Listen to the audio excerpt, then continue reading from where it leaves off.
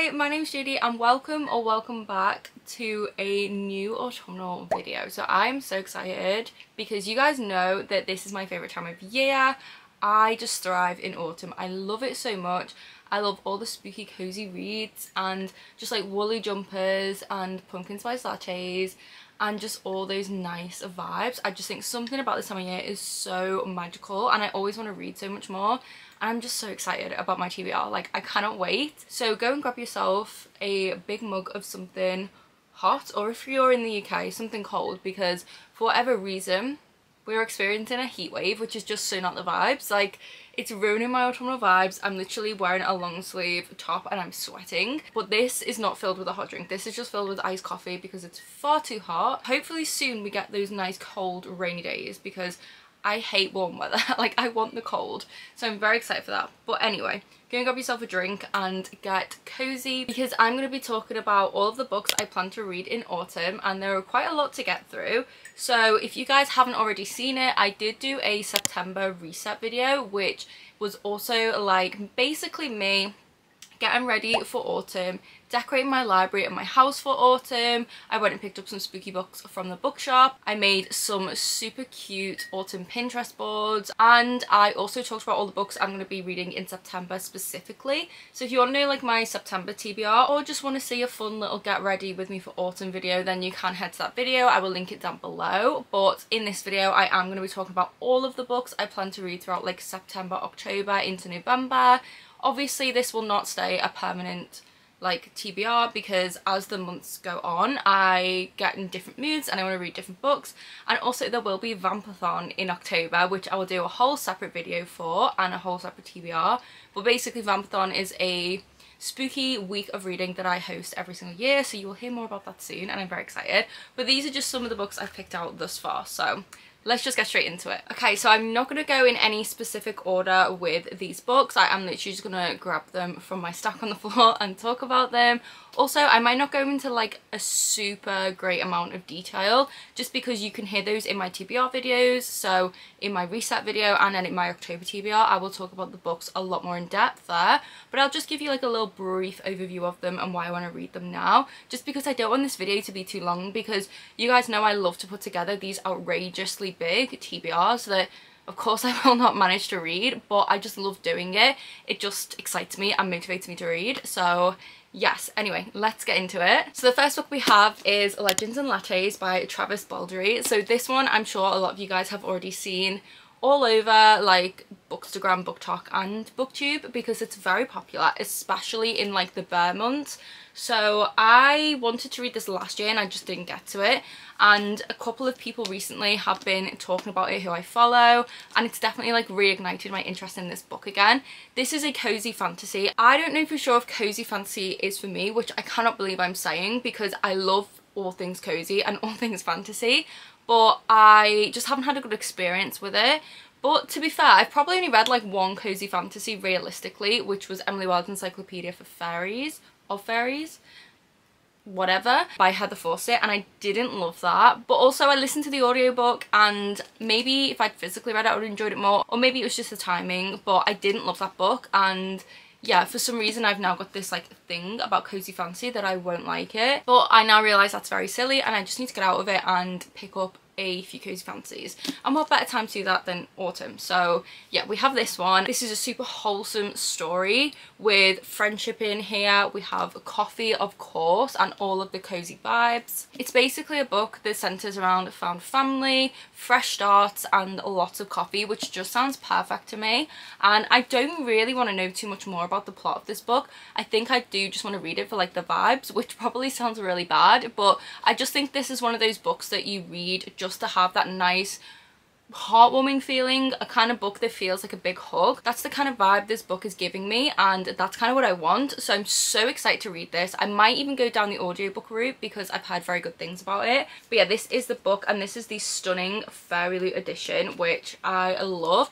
I actually own three copies of this book. So I do really need to get on with reading it. Okay, so this next book I actually don't know a lot about. I'm pretty sure though it is like a fantasy cozy YA story. It could be adult but I feel like it might be a YA or new adult. I'm actually not sure. I bought this super randomly a while ago and I actually cannot remember the plot which I feel like is a good thing because again I quite enjoy going into books and not knowing a lot. I just feel like it makes them less predictable for me and I just enjoy the element of surprise I get from reading something I don't know all that much about.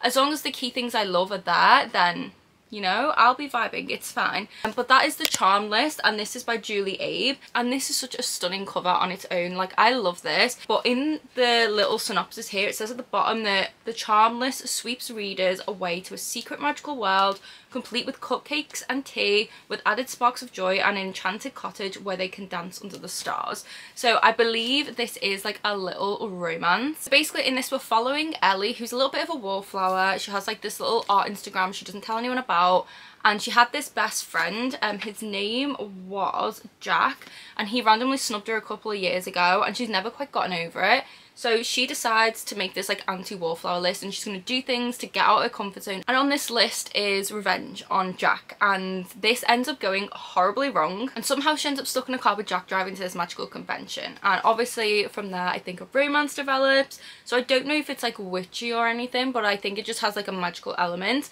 Either way I'm super excited for this. I just feel like this will be a lovely cozy story that's very light and fluffy to read at like the start of September and I feel like it'll be a nice quick read as well. It's under 300 pages and yeah, I'm just so excited about this one. Like, I have a really good feeling about it. So next we have another cozy fantasy, but this one's witchy. This is a very long title, which is The Very Secret Society of Irregular Witches by Sangu Mandanna And I believe the sequel of this comes out soon as well. I've heard so many good things about this, like so many. Quite a few of my friends have read this and absolutely adored it and I don't know why I still haven't gotten to it. Like I've had this since release and it's just sat on my shelf gathering dust and I love a witchy like romance kind of vibe and that's what this is. It's a cozy story. I think this also has like found family in it. Um, I'm sure there's like a grumpy librarian called Jamie or something. Yeah, so there's a librarian who's prickly and handsome called Jamie. And then we have our main character as well, who is Mika Moon. And I love the fact that her name's Mika Moon. Like, I'm just obsessed with that. And it says that she's one of the few witches in Britain, which again, I love that. And I think she ends up like looking after some kids or something as like a nanny. It's something like that i think. Um so yeah this just has like a little bit of romance a little bit of magic and witchiness. And i think again that found family kind of trope in here. And i've just heard this is like a really cozy story. And perfect to read in autumn and I just love those kind of vibes. So I'm so excited for this. And I love this edition because again look how stunning under the jacket is. This is the Loot edition and I just love it so much. I'm obsessed with it. Oh, I can't wait to read this. Like, I think this is going to be a five-star read. And if it isn't, I will cry. okay, so this next one is kind of like a wild card for me because I typically don't really read a lot of horror and I don't think this is straight up horror but I know this author has wrote some horror novels, I believe.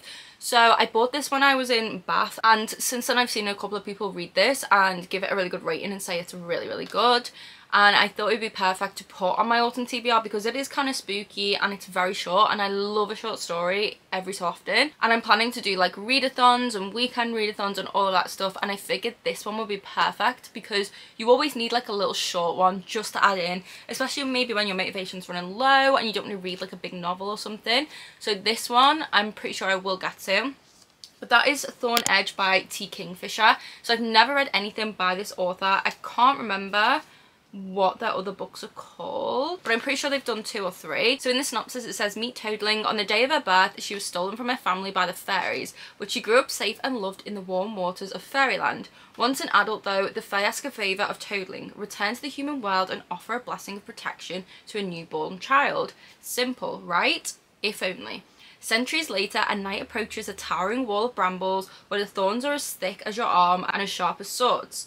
He's heard there's a curse here that needs breaking, but it's a curse Toadling will do anything to uphold. So yeah, this is like a twist, obviously on kind of like Rapunzel, and I love fairy tales that are kind of reinvented in a darker, more sinister way, and just like reimaginings of fairy tales in general. I just find them really, really fun. And like I said, I love short stories, so I'm getting two things that I love in this book. So I'm pretty sure I will really enjoy this. This will just be like a fun, quick read. It is under 200 pages. It's only a little over 100. So so this will just be perfect to add in there whenever I feel like I just need something quick to read. So very excited for this and I'm also obsessed with this cover. I love the colour palette. Like it's just so pretty. The purples gorgeous Okay, so this next one, again, super excited about this, and that is A Witch's Guide to Fake Dating a Demon by Sarah Hawley. This is a spooky rom-com, and I love spooky rom-coms. They're one of my favourites. Like, just something about them is just so comforting. And this one, I think I got sent by the publisher a while ago, and I've been saving it for this time of year, and it's finally time to pick it up. And I love how on the back here it says, Amarielle Spark knows not to trust a demon, but what's a witch to do when she's accidentally bound to one? So yeah, this is going to have like forced proximity. I think they're probably going to have to go on some kind of journey to figure out what's going on, why they're bound, how to break it. But somewhere along the way, they probably fall in love. And I'm assuming obviously there's fake dating in here. So this ticks all the boxes for me and I'm very excited about it. I'm excited to go in and not know a lot about the synopsis either because I just I don't know, I kind of just want to go into it not knowing a lot. Like, I just feel like I'm going to love this either way. And I'm expecting very good things. And I've seen a lot of good reviews for this book, so yeah, very, very excited about it. We love a spooky rom-com. And speaking of spooky rom-coms, we have Witch You Gonna Do, which is by Avery Flynn. This is another witchy little romance, and ever since I read The Ex-Hex a few years ago, witchy romances have had a special place in my heart. I've never found a book, sadly, that has the same feeling that that book does but I'm hoping one day I will. Like, there's got to be some more witchy rom-coms out there that live up to the same level as the Ex-Hex. Like, that one I just adored so much, and I've read a lot of good witchy rom-coms, but nothing that's kind of made me feel the way that one does and I'm still searching for that feeling. So I'm hoping this one will be the one. And this one says basically it's an unlucky witch and her know-all nemesis. They must team up in the first of a new spicy romantic comedy series. So it's kind of like hate to love kind of enemies to lovers vibes. We have witches and I think basically they have to work together to save I don't know if it's her family um and like be able to get rid of these like evil forces at play. So it kind of does remind me of the Ex-Hex a little bit with, obviously it's not second chance romance like the Ex-Hex, but those vibes of like they don't particularly like each other and they have to go on this quest together to kind of like you know defeat evil that kind of vibe. I love that in books and i just feel like this one is gonna be so fun. So yeah i'm very excited for this one and the floppiness is a 10 out of 10 very very excited and very much love this cover as well. Okay so this next book i don't really know what category it falls into. I believe this is kind of like a mystery thriller supernatural paranormal cozy kind of vibe but I want to read this and I've heard a lot of good things about it and it's just been sat on my shelf for a while. So this will be my first book by this author I believe and that is Spells for Forgetting by Adrienne Young. So yeah I don't know a lot about this and because I've heard it's like got magic murder mystery in it I feel like I don't really want to read into the synopsis again because I love going into these kinds of books with absolutely no expectations and no inkling as to where the story is going to go. I just find, again, that it's less predictable and more thrilling that way. But I know this is like really atmospheric and it's set in a small town and I think it's something to do with like lost love. So those sound perfect to me. They sound perfect for autumn and this cover as well just screams autumn.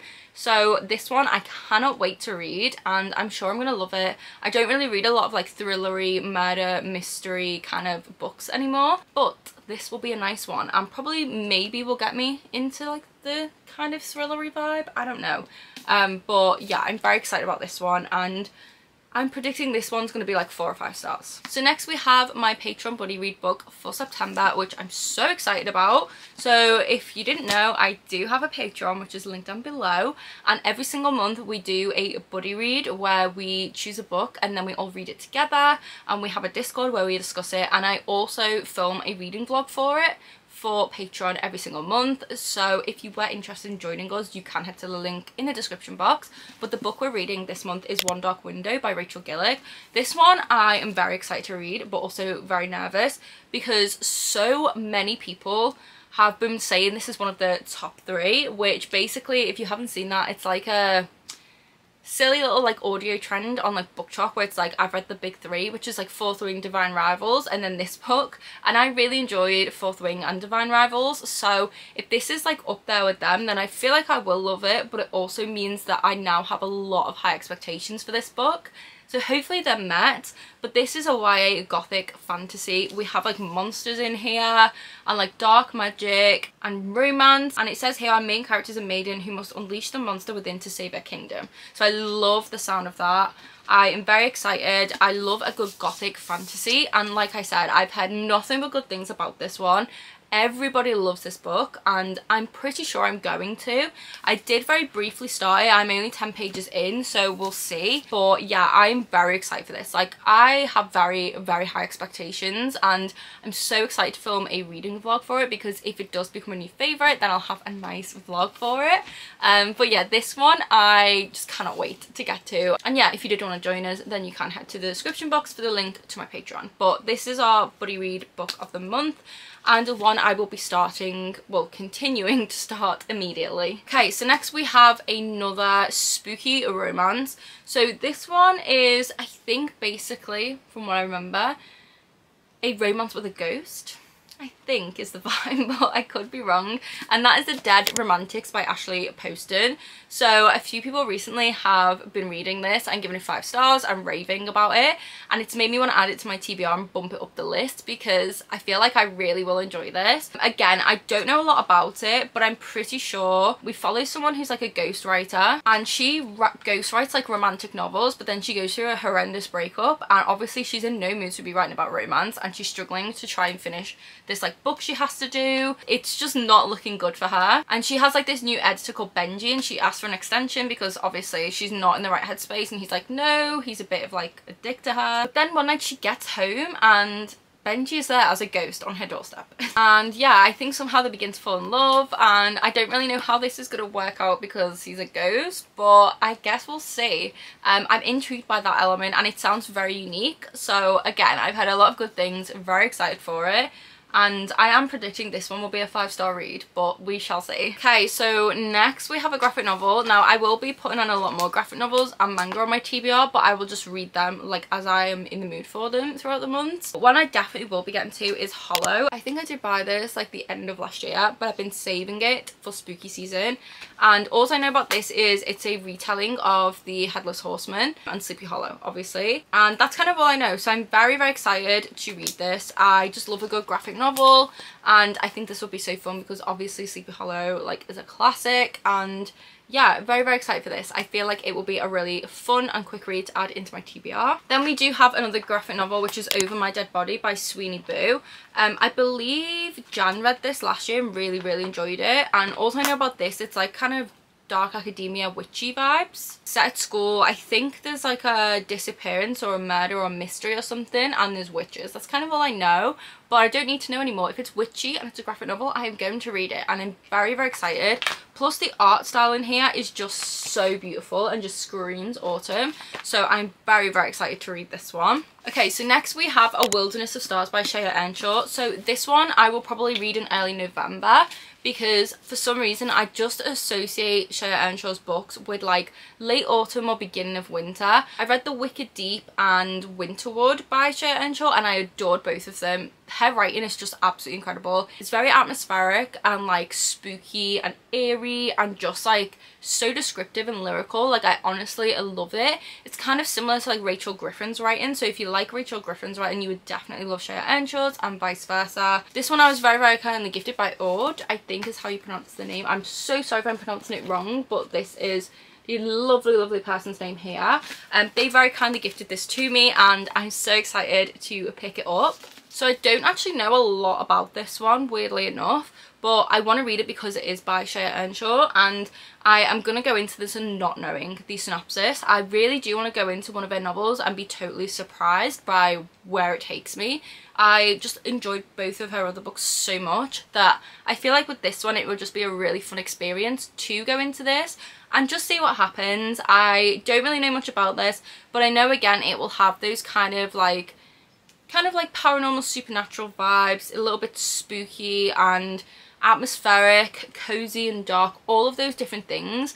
I just feel like it will be really, really fun. Um, so yeah, this one will be probably on my November TBR and I am predicting five stars for this because She's never let me down. So speaking of Rachel Griffin, we have Bring Me Your Midnight. This one, I cannot wait to read this. Is Forbidden Love and I love Rachel Griffin. She is one of my all-time favourite authors. I've read Wild Is the Witch and Nature of Witches. Absolutely adore both of them. Five-star reads. So good. They're basically all YA romances with like witchy vibes and just truly like poetic, lyrical, stunning and atmospheric is the best way to describe them. I love her writing so much and I cannot wait to read this one. And this one is a forbidden romance and she is a witch that lives on this island and I think there's like an arranged marriage between her and someone who lives on the mainland to try and like secure them and like to try and basically like tamper down with the fact that like the mainlanders see these group of like witches as like a threat. So this arranged marriage is like a political move I think to try and like calm that down a bit and like secure you know their future make sure they're safe and all that good stuff and basically they release their magic into the ocean on a full moon to try and like appease the mainlanders. But our main character misses this midnight ritual and now she's got all this magic like welling up inside her. And she ends up meeting this guy called Wolf who claims to be someone who practices dark magic in another coven and he's like basically encouraging her to like use her magic and he's basically like teaching her forbidden magic we have a forbidden romance and it's basically a story about like where you kind of draw the line between love and duty. So yeah, I'm very, very excited to read this. I love a good forbidden romance and he sounds like a bad boy. And we have forbidden magic. So all of the things I could possibly want. And again, I'm sure this is going to be five stars. I am so excited to read it. We'll be picking this up very soon. And I just love Rachel Griffin. Okay, so this next book makes me kind of sad. I'm not going to lie. But it is because it's the last book in a series. And it's a series I really, really adore. I have been reading it very, very slowly over the last several years. I read the first book many, many years ago. It's one of my favourite books of all time. And then I read the third book last October and I think the second book the October before that. And I've been saving this one for so long, but the time has finally come. And that is Kerri Maniscalco's Capturing the Devil. So these books are just inherently gothic and spooky to me. They feel paranormal and supernatural, but they actually aren't. They're basically like contemporary thrillers, but they're YA and just incredible. The romance as well is so good. In the first book, it's kind of like rivals to lovers vibes. Um, but Audrey Rose and Thomas Cresswell just have my heart. They're one of my favourite fictional couples and this one is just going to be amazing. I just know it. So basically all of the books we do follow these two characters. It's very gothic. It's set I think in like Victorian London but each one they've like travelled somewhere else. So this one is set in America. Um, and the way that the third book ends and then there's a novella you can read things are intense and I basically think they're trying to like find this serial killer. In Chicago I think is where they are. So yeah they're trying to track down this serial killer but everything appears to look like it's a supernatural force but they have to kind of prove that it isn't. And basically like Audrey Rose is a what's the word? Can't remember what she's actually called but she basically like works with dead bodies and like figuring out how they died and stuff. So basically every story is like a murder mystery and there's a bit of romance in there and it's just very high stakes. Very very good. I love these books so much and i'm sad that the series will be coming to an end with this one but it is about time that I did read this. So yeah, I'm very excited for this one. We'll likely be having this one on my October TBR, uh, probably a Vampathon pick as well. But yeah, I just can't wait to be back with Audrey Rose and Thomas Cresswell. I love them so much. Then we have Carissa Broadbent's Slaying the Vampire Conqueror. And this one's a Mortal Enemies to Monster Lovers story apparently. So I don't think it's related to Serpent and the Wings of Night but it could be set in the same world i'm not entirely sure. But i think this is one of those ones where basically she's supposed to go and kill him and i think he maybe is supposed to kill her and for whatever reason that doesn't happen because I think they fall for each other. It's kind of giving me like Bridge Kingdom vibes but make it like vampires and I love the Bridge Kingdom. That is such a good enemies to lovers. So yeah, I believe this is enemies to lovers. It says here, fierce heroines, inhuman heroes, love the content, the tides of fate. So yeah, this is a vampire romance story and I don't know much else more than that but I don't feel like I need to. I am very excited for this one. I feel like this is obviously a perfect read for autumn because it's vampires. I really love Serpent and the Wings of Night by Carissa Broadbent. Wasn't a huge fan of Daughter of No Worlds but I do really like her writing and I feel like this one will be really good because I think this is just like a standalone and that it's going to be very like high stakes, intense, but highly like romantasy vibes. So yeah, very, very excited for it here for all the vampire books and I'm sure this one will not disappoint me. So I've got two more books to show you guys and then that is the end of my very big TBR. So we have Avila Roth's Bloodmercy book one. I don't know a whole lot about this, but I do know it's like forbidden romance and enemies to lovers. And we have a vampire in here and a human girl who's trying to like rebel against her father and stop him from doing something bad. So she enlists the help of a vampire I think. And they form an alliance to try and save her kingdom but then fall in love which is like forbidden. And yeah there's like a lot of books in this series. But this was very kindly gifted to me by Vanessa. So thank you so much Vanessa. I am so excited to read this. I have heard this is a really good fantasy romance. And again I'm just here for the vampire vibes and this cover is just truly beautiful. Like I'm obsessed with this cover. I'm really hoping I love this because I've already bought all the other books in the series. So will be very awkward if I don't love this but I feel like I will. So yeah I'm gonna be reading this one hopefully. But it is quite a chunky one. But I mean I feel like if I really get into it I will just binge my way through this book. And then the last one I just had to put on here for funsies because it's not an autumn TBR without this book. And I've never actually finished it, which is so bad. And I know that I will love it because the movies are like my guilty pleasure. I just love them. But I can't believe I've still not read the books. And that is Twilight with Stephenie Meyer. So I did start reading um, Midnight Sun.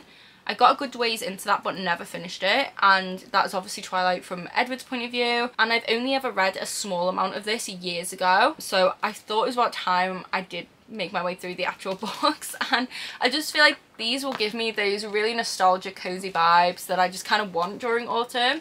And yeah like it's Twilight. I mean do I need to say any more than that? I'm not even going to go into what this is about because I feel like it's a given um, but yeah, I am going to put this on my TBR and maybe I'll finally read it, we shall see. Um, I remember seeing Katie from Katie's Reading reading this last year and it definitely motivated me to pick it up. So maybe I finally will, um, but I'm going to add it to my TBR just for the fun of it and we'll see if I do get to it. But that does conclude all of the books for my autumn TBR. I hope you guys did enjoy this video. Like I said, I will definitely alternate between various books across the next two months and I will be doing separate TBR videos for each month. I'm bringing TBRs back because I do enjoy them, but I am still a mood reader at heart, so I always stray away from them. But it does give me some kind of motivation and gives me an idea of what kind of books I might want to read throughout the month. So yeah, I hope you guys did also get some recommendations from this video. Let me know in the comments if you're planning to read any of these books or if you have already read them please let me know your thoughts. I would be really excited to know what you thought of them. And let me know what is on your TBR this month. I love seeing everyone's spooky TBRs. And it's also a really good way to get book recommendations. So if you do have a TBR planned, leave it down below in the comments or if you have recommendations also let me know those. If you did make it this far in the video leave an autumnal emoji in the comments and please do give this video a big thumbs up. It really helps me out and I do appreciate every single comment that I get. It's so fun seeing what you guys are reading or how you're doing and just getting to chat to you. So yeah I might not get back to the comments straight away but I promise I will get back to them and they truly do mean a lot to me. The fact you take time out your day to leave a comment is just just so nice to me. So thank you if you do decide to leave a comment. Um, but yeah, anything I have mentioned I will leave down below in the description box. So you'll find the link to my Patreon. That's where you'll find our monthly buddy read. You can also find a monthly readathon there. Live shows, a Discord channel. We have a spooky Discord channel, which is very exciting. And I also upload exclusive videos. So I recently posted this video, which is a come autumnal shopping with me and a big haul. So I basically went to like TK Maxx, HomeSense and all of those good places bought a ton of autumnal and spooky decor and did a big haul and there's also some clothes as well so if you are interested in that you can head to my patreon but those are the sorts of things you can expect there so that will be linked down below there'll also be the link to all of my social media if you did want to follow me on my like bookstagram or BookTok or any of that stuff and i will also be linking the september reset video down below in the description as well. But yeah, thank you guys so much for watching this video. I hope you're all safe and well. I hope you're reading lots of good spooky books and I'll see you in the next one. Bye!